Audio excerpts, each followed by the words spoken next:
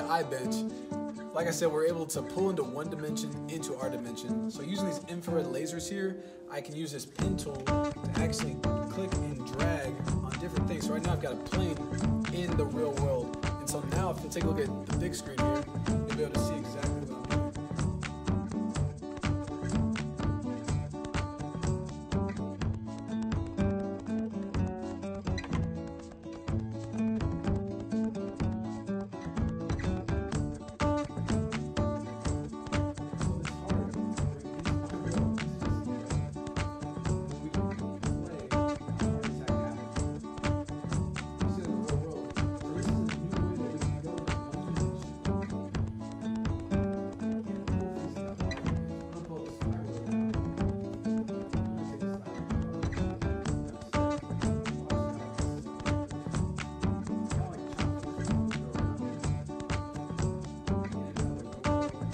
All right.